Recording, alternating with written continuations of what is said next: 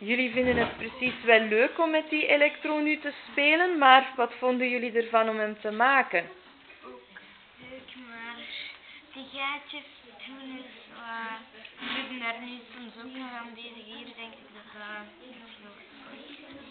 Ja. Wat moest er misschien nog aan gebeuren, Jana? Zeg het nu eens duidelijk. Dat die gaatjes beter open werden gemaakt. Ja, en waarom moet je die verder openmaken? Dat, dat anders niet goed werkt.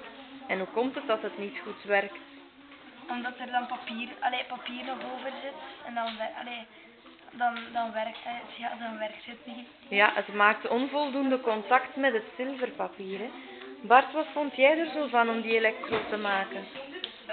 leuk Waarom? om de samen te doen en eh, dat we zo elke dingen moeten doen, elke taak moesten doen voor dat te, voor dat te maken. Ja? Emma?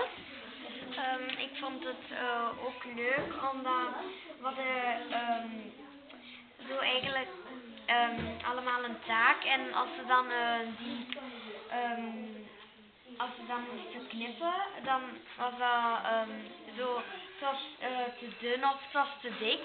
Mhm. En dan konden we daar soms wel zoiets mee lachen, omdat daar zo heel dik was en dan zo'n heel, eh, Ja. dan ook zo'n heel dun stukje was. Dus jullie vinden wel dat jullie in jullie groepje goede afspraken hadden en dat iedereen dat goed heeft uitgevoerd? Ja, nu werd het niet zo Nu werkt het niet zo goed. Oei.